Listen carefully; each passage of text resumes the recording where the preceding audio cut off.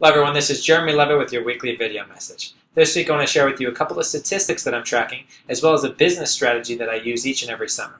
The statistics are really simple. I track the number of sales. And so last year we obviously sold more homes than we did this year. If you look at just the raw numbers year to date, we're selling about 16% fewer homes this year than we did last year.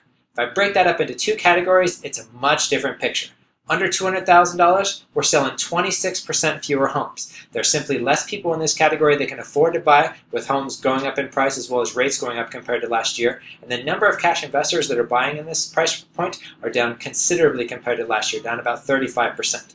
If I look at over $200,000, we're selling exactly the same number of homes this year as we did last year. This is a stat that I've been watching all year long. We've continued to track about the same as last year when you look over $200,000. So when you're working on your business plan or you're working on a listing agreement or whatever it is that you're aiming towards, if you're aiming over $200,000, chances are your business is looking very similar than the way it did last year. And last year, let's be honest, was a really good year for most of us. So if you have any questions on this, just give me a call. The business strategy I want to share with you, though, is we're going into summer A lot of folks do business planning at the end of the year, right in January. I love to review my business plan every summer. Things slow down because we have less second home buyers over here. We obviously have less Canadians coming down, so you're going to have a little bit of extra free time.